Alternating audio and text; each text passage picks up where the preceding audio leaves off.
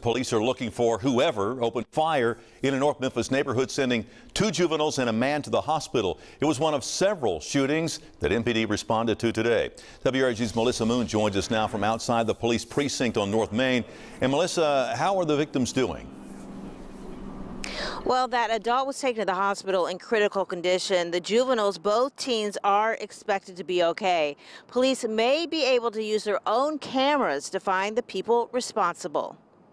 A Skycop camera just steps away from where police were putting down evidence markers, at least seven of them at the Cavalier Court Apartments. There's a lot of gunshots around here. It just, it just went crazy. Keisha Tony heard several gunshots near her apartment on Perez, but didn't run for cover. She says she's gotten used to the gunfire. It happened over all the time. Police say a 14-year-old, a 15-year-old, and an adult were shot here in the middle of the afternoon.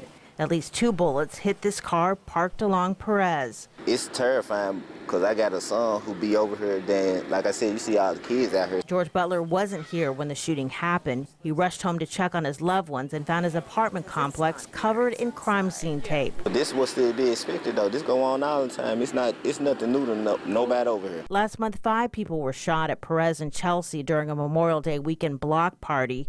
Police haven't said what led up to this shooting. Butler says the problem is too many people have guns and it's gotten too easy to buy one off the street. As long as you ain't got no fear, you go to the store, get all, all kind of guns now.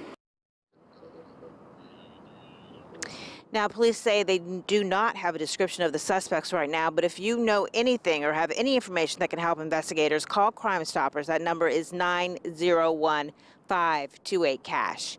In downtown Memphis, Melissa Moon, WREG, News Channel 3.